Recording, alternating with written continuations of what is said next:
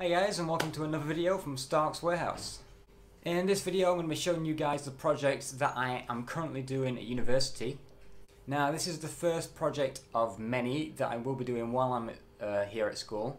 So without ado let's go ahead and show you guys what I'm making.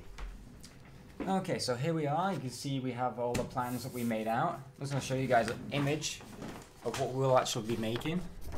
Uh, we're making this accordion from around the 1850s, so it is quite old.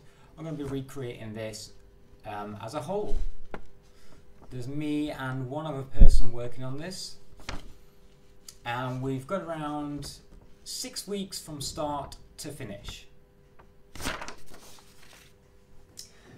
As you can see, we've already started and um, done the technical drawings. So we have the dimensions that are needed to make this. We've already started a few test pieces as well. We have a quick mock-up made out of cardboard over here. This is just to get the dimensions in size.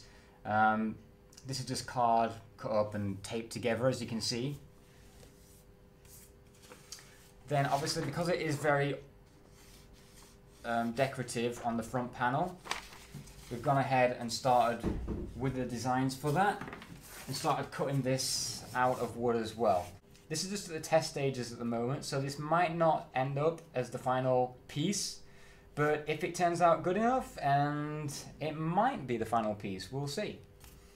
Um, so yeah, at the moment, that's as far as we have. We have a quick mock, mock up, we have the plans, and we started cutting things out. We just started sourcing materials, um, but as soon as we get those materials and start building, we'll come back to you with another video. Just to show you guys a quick overview of the plans that we have. Perfect.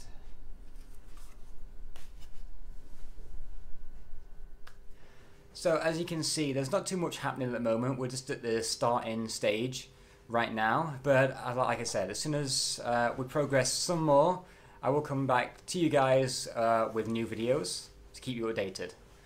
So please remember to like and subscribe so you guys get notified as soon as any new videos are released. And I'll see you soon.